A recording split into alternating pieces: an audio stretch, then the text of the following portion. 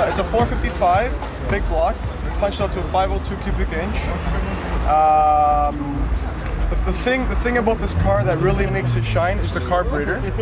Dual uh, dual pump, four barrel carb, uh, electric choke. So there's no manual choke, in case you guys don't know.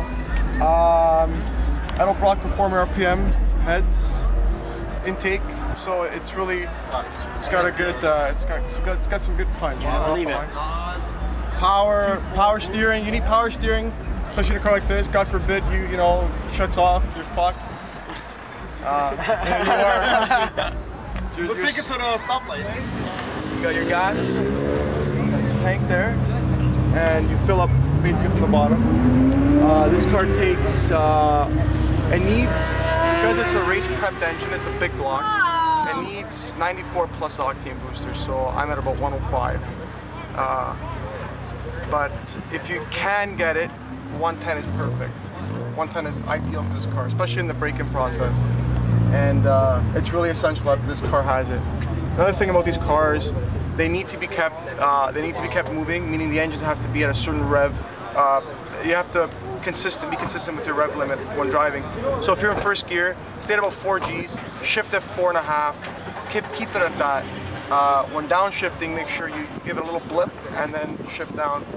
And uh, this car, these cars really need to be kept revving though.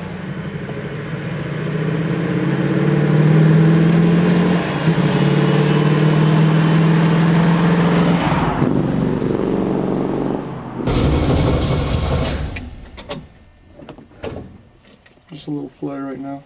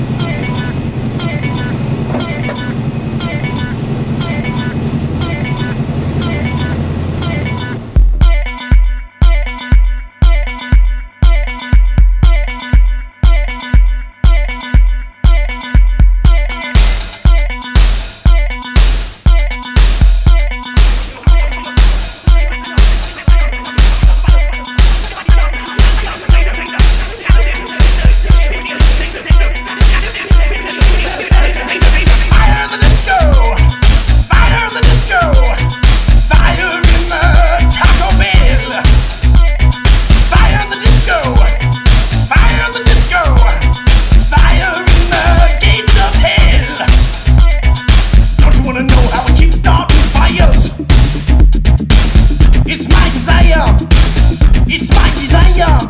Don't you wanna know how we keep starting fires? It's